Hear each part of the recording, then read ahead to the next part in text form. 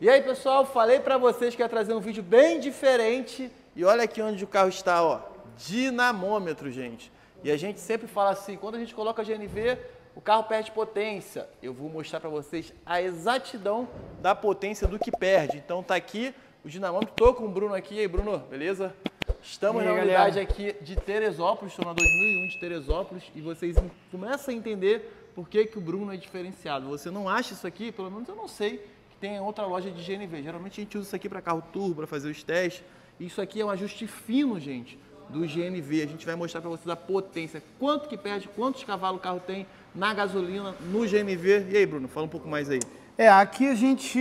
ah, O dinamômetro, na verdade, é encontrado muito em oficinas de preparação de motores, onde as pessoas fazem a preparação e quer ver Quanto a real potência é, e fazer os ajustes também no dinamômetro. E a gente adotou o uso do dinamômetro para isso também. Para quê? Para a gente saber qual é a real potência do carro do cliente na gasolina ver a curva, que eu vou explicar ali para vocês, a curva de potência do combustível líquido e a gente tentar chegar à curva de potência do combustível GNV bem próxima à curva do combustível, líquido. Para ficar redondo, para não ter aquele negócio de morrer, oscilar, não é isso? É, Ficar assim, perfeito. Com o ajuste através do dinamômetro, a gente consegue obter o maior resultado possível. O maior resultado qual é? Potência, torque e economia.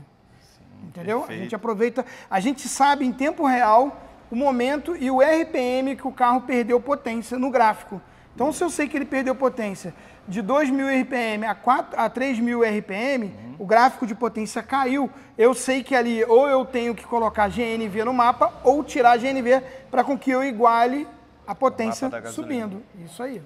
Gente, maneiro demais. Ó, vamos mostrar um pouquinho para vocês o equipamento aqui. É o rolo, né? Que a gente chama.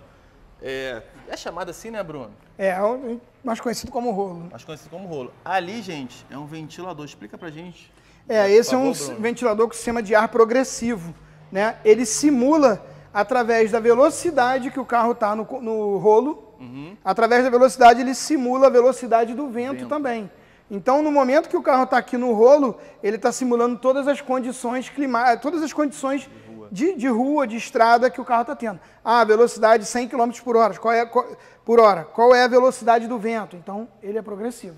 Gente, é maneiro demais, tá? Que a gente vai mostrar aqui pra vocês. Eu queria muito mesmo mostrar isso aqui na prática. Faz um barulhão, gente. O Bruno vai entrar no carro, a gente vai começar com o teste na gasolina, né, Bruno? É, o primeiro mapa o é a mapa. gasolina e depois nós vamos é, verificar qual é a potência que ele está na gasolina, potência de roda, que é o principal hoje, é a potência na roda que a gente precisa, e depois nós vamos ver qual é a potência que o carro está no GNV e a potência na roda no GNV. Tá. É, quando o Bruno fala potência de roda, quando a gente pega uma ficha técnica de um carro e fala assim, por exemplo, meu carro aqui, ele tem, se eu não me engano, 132 cavalos na gasolina e 133 no etanol. É, isso é a ficha técnica que você Potência vai do ver. motor. Do É, motor. isso. Do motor. O que ele vai transferir para a roda é outra É potência. menor, porque aí a roda, quando ele, tá, trans- quando ele transfere, ele já está com o peso do carro, já está isso, com tudo é, isso. já é outra coisa. Quando a gente vê aquela ficha técnica, é só do motor, gente. E a gente consegue ver esses dois aqui na prática. É maneiro demais. Vambora, vamos ver, Vambora, galera? vambora? Então vamos, vamos lá. Vamos lá. Vamos lá, pessoal. O Bruno tá entrando aqui agora. Primeiro teste da gasolina. Primeiro teste da gasolina, depois a gente vai levar vocês pro computador para ver a potência real. E faz barulho, gente.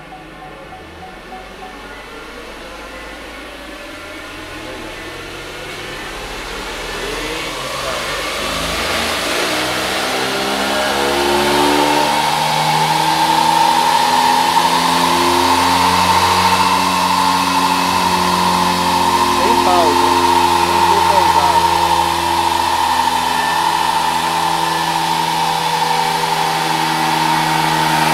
Deu para vocês entender um pouquinho do barulho, gente? Agora a gente vai ali pro computador. É, agora, vou mostrar para vocês aqui. Primeira puxada na gasolina e a gente viu que o mapa de potência desse carro, ele é assim, tá vendo? Você sabe que ele tem algumas, você vê que o mapa gráfico ele baixa um pouco devido à turbina, entra a turbina e sai. Então, você vê que ele tem 130 cavalos, ponto 18. Tá batendo na faixa. Sim. Aí a gente vai ter hoje o teste, pô Bruno, por que, que deu menos do que o original? Às vezes é o clima, né? o ar, isso tudo, é, tudo isso contribui. Então a gente sabe que o carro dele está na base batendo a potência que manda o fabricante. Gráfico de potência aqui, cálculo de área. Vou É voltar legal aqui. que você consegue, dá pra perceber quando o carro é turbo e aspirado, o mapa muda também, né, Bruno? O mapa Todo muda. carro é um mapa diferente, Sim, claro. sim.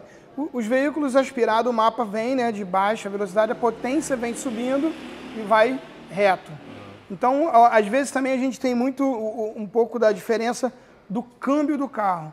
A gente consegue fazer um teste muito mais preciso num câmbio mecânico, tá? Entendi. Então é, é totalmente diferente um teste de um carro num câmbio mecânico. Legal. Então aqui a gente vê, ó, 130.18 cavalos a 4.675 e a gente vê potência, olha só, potência máxima de perda, potência máxima na roda, olha, 112. 112 cavalos. Então o que, que nós vamos fazer aqui agora, né? Olhar o gráfico e vamos passar o carro para o GNV e vamos fazer esse teste também. Olha só, aqui é o gráfico de torque. Então, quando a potência sobe, ela sobe.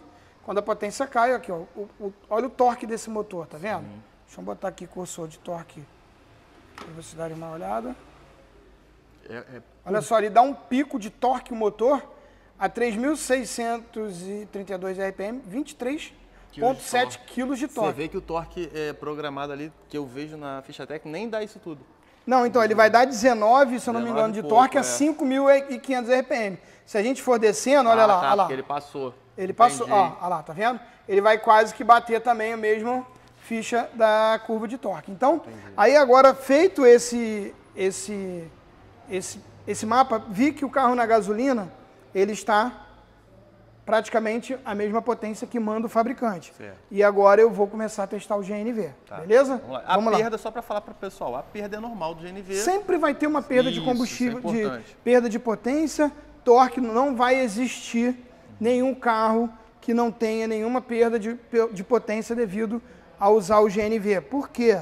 Vai haver a perda devido à te- temperatura de queima do combustível. Sim. É totalmente diferente uma queima de gasolina, de etanol, pro GNV, tá bom? Então, assim, não adianta você ter um combustível que vai te trazer muita economia e você não vai ter perda de potência. Hoje a gente consegue ter baixa perda de potência nos equipamentos com sexta geração, porque também pulveriza um pouco de combustível líquido junto com o GNV.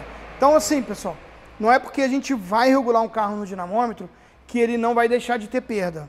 A gente vai fazer com que ele perca muito menos, Menos, tá? Mas ele sempre vai haver, sempre vai, sempre haverá uma perda de potência. Agora vamos testar no, no GNV. Bora, Bruno, vai lá. Vamos lá, pessoal.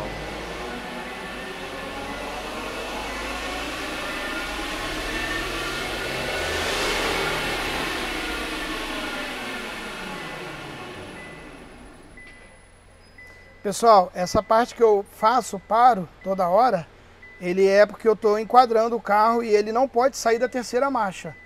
Toda a prova ele tem que permanecer na marcha 3. Então, se eu dou uma saída um pouco mais forte, se ele reduzir, eu tenho que interromper a prova e começá-la de novo. Beleza,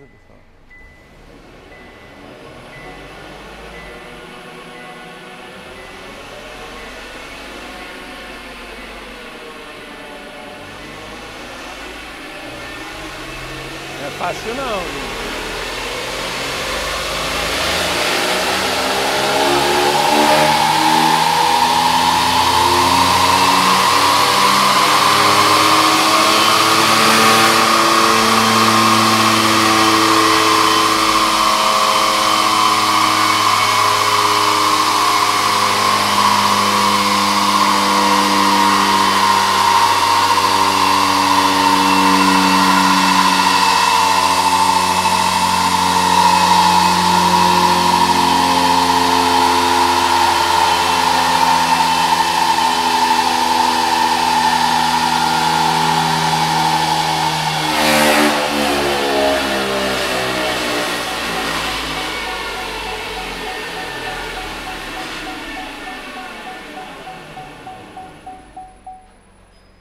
Vamos ver esse resultado aí. E aí, Bruno? E aí, vocês querem saber o resultado do Tracker Eu- 1.2 eu no dinamômetro? Vocês estão tensos, pessoal? Olha só, lembrando a vocês, pessoal, É, galera que, pô, a gente tem a nossa unidade da Penha, não tem dinamômetro na nossa unidade da Penha. Sim, legal. Os carros que a gente monta, inclusive Tracker, Onix, todos os carros que nós montamos, fazemos toda a conversão, os mapas do dinamômetro, dos ajustes através do dinamômetro, encontra-se na unidade da Penha. A gente descarrega o software, né, faz os ajustes que tem que fazer do carro de carro para carro e o- os melhores resultados do dinamômetro aqui da nossa unidade de Teresópolis você tem na Penha. Claro, Bruno, eu tenho um carro com gás, quero regular no dinamômetro. Posso regular o meu carro no dinamômetro? Sim, você vai agendar, vai vir até a nossa unidade de Teresópolis, nós vamos fazer um ajuste fino, Sim, um ajuste mais fino no seu carro no dinamômetro. Até para o pessoal entender, Bruno, é, toda vez que, as, por exemplo, saiu um carro agora, é a primeira vez do carro que você está colocando no GNV, o carro automaticamente vem para cá, Ele vem para cá, ele vem para o nosso box. para o mapa deixar aqui certinho, e aí se esse carro depois for para Penha, o mapa tá lá Sim, pronto. ele vem para o nosso laboratório, faço os melhores, todos os testes no carro de ajuste, o melhor resultado, aquele mapa é guardado, é como se fosse um remap. Sim, sim. Você viu que o remap, você compra um remap para o teu carro, o cara já descarrega. Sim. É, uma, é um remap criado através do dinamômetro também, que o melhor resultado, eles ficaram com o mapa e descarregam nos carros. Então, esse mesmo resultado vai ter na unidade da Penha também. Show. Beleza. Beleza? E tem Então, tudo aí na descrição, pessoal. Pessoal- das duas lojas. É, tem dois anos de garantia também na sua, na sua conversão de GNV, não é isso, Bruno? Tanto aqui quanto na Penha. É, uma outra parada. Garantia total que a gente fala. Galera, não é aquela garantia de 50 mil quilômetros. É garantia de se você botou, tem dois anos, rodou 500 mil quilômetros, nós, estamos da nós, estamos, nós vamos dar garantia para você total, independente da quilometragem. Sim, Porque é muita gente legal, dá garantia e Mas não fala, 50 não fala sobre a quilometragem. Então, não. Nós vamos dar a garantia de dois anos, independente um milhão de quilômetros. O Uber vai rodar um dois milhão. anos. Vai ter dois. Se está dentro de dois anos, está na garantia. Bora, Beleza? isso aí, então vamos vamos lá. lá. Suspense total para potência aqui do, do- da Tracker motor Olha 1.2. um mapa bem parecido que a gente Vocês viram que ele deu 130 cavalos na gasolina. Sim. E você está vendo o mapa mais escuro, esse mapa marrom, é o mapa de potência do combustível gasolina. Certo. Esse mapa laranjinha é o mapa de potência do GNV. Vocês estão notando que na saidinha de 2000 RPM, olha só, de 2000 a praticamente 2.800 RPM, ele teve uma pequena, é, uma maior potência que aqui. A gente pode incluir aqui. Hum, de é o de ba- é o do 2.500 GNV. é, de 2.500 a 3.000 RPM, ele teve um pouquinho mais de potência do que a gasolina e depois o mapa caiu, que foi a perda de potência normal. Você viu que o carro está seguindo o mesmo mapa? Esse aqui é um pico de potência de turbina com o GNV normal, mas olha a curvatura da potência do carro, olha. Ele desceu, você viu que no final ele ganhou um pouquinho mais de potência também no GNV. Sim. E 100% GNV, olha só que legal. Isso aqui a gente sabe o momento certo, olha só que legal. Né? Então, quanto de potência tem esse carro no GNV hoje? Agora aqui que a gente mostrou da outra vez. Agora é o suspense. Gasolina, a gente aferiu ele 130. GNV, 126,32 cavalos. Um fator principal, pessoal, Quatro. é aqui. Potência na roda. A potência desse carro na roda deu pra gente, na gasolina, 112. E olha no gás. Aí, ó. 109,36. cavalos, Que é o que vai realmente dar É o que você vai sentir. E é aí Três que a gente cavalos, fala dos né? upgrades a mais na instalação da nova Tracker, do Onix. Qual foi? A importância da saidinha, da potência do carro. Agora a gente pode tentar ver se eu consigo confrontar o torque. Não vou conseguir confrontar o torque dele aqui, né? Porque eu já parei o, a- o, o mapa. Então, assim, você já viu que aqui a gente conseguiu, no, no que a gente mais precisa do carro, torque. A potência inicial para arrancadinha, é o que você nota que o Eu- carro é perfeito. Eu falo que meu carro é perfeito. Eu falo, É todo mundo fica na dúvida. Pô, como é que funciona teu carro? Eu falo, é perfeito. Cara, é, essa que é, o- é a parte crítica para você dar um impulso no carro, para ele poder sair do lugar, é essa saída entre 2.000 a 3.000 E RPM. muita gente, Até a- menos. até a parte do GNV, sempre é na saída que fala, pô, meu carro tá fraco, né? Porque a maioria gente precisa de potência e torque, mais torque. Então, você viu aqui que 120, vamos lá de novo, 120, 126 126 cavalos no GNV. motor e 100 112 aqui. Potência de máxima roda da roda. E 109 E aqui, ó, mapa impresso e mapa para ser entregue para o cliente. Então aqui nós mostramos para o cliente, né, que vamos supor que ah, aqui é o Rafael, que, que nós montamos o carro dele no GNV e nós conseguimos deixar a curva de potência do carro dele a mesma curva de potência de combustível líquido. Olha só que Esse legal. É um fino Cara, que a gente fala. é, aqui realmente você sabe hoje qual é a potência do teu carro no GNV. Maneiro, é isso que eu queria trazer para vocês, gente. Então, é como eu falei no começo, a gente fala assim, o carro no GNV ele perde, mas perde de quanto? Não sabe. Não sabe. E aqui, aí tá aí, ó. Cara, Exatamente, é fantástico, gente. é, fantástico, é fantástico. perfeito. Assim, o pessoal O pessoal que, porra, ô Bruno, eu quero, digamos que se eu tenho uma track, mas já tem um mapa na penha, mas o, cara- o colega quer vir aqui fazer aqui e fazer o dinamômetro. Ele pode vir? pode, ele vai, a gente vai, vai locar o dinamômetro, né? Sim. Ele vai vir, nós vamos mostrar para ele a Não, não, potência. se ele mas- quiser instalar o GNV aqui. Ah, pode, sim, Pode, claro. pode vir aqui claro. querendo ver, Já ó. vai ter o mapa pronto. Então, assim, pessoal, Sim. a maioria das Tracker 1.2 tem essa potência. Por quê?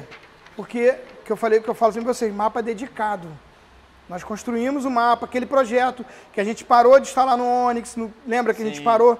Então, assim, o que a, a, a tracker do Uber do chefe tem de potência, todas, Todas que nós elas. montamos têm a mesma potência, porque esse é o mapa que a gente descarrega do GNV. O Eduardo, quando montou o carro, ele descarregou o mapa que a gente tinha no nosso banco de dados de mapas de- de regulagem de GNV de dinamômetro. Assim, então, todas as trackers, as trackers que nós montamos têm esse mesmo gráfico de potência. Bruno, bacana demais. Cara, Acho que perfeito. você esclareceu muitas dúvidas aí. Eu tava doido para vir fazer esse vídeo marcando contigo, né, na correria. E tu viu o trabalho aqui para É, colocar, para aferir o carro, para testar cada hora um teste. É, é- é bem trabalhoso, né? Isso aí. Mas deu para entender, deu pra galera. Eu queria muito mostrar essa, essa potência. Acho que o pessoal conseguiu entender tudo direitinho. Galera, e outra coisa, você que não nos segue no nosso canal GNV Sim. 2001, vai lá dar uma moral pra, pra gente lá no canal GNV 2001, Instagram, Facebook também, tudo GNV 2001.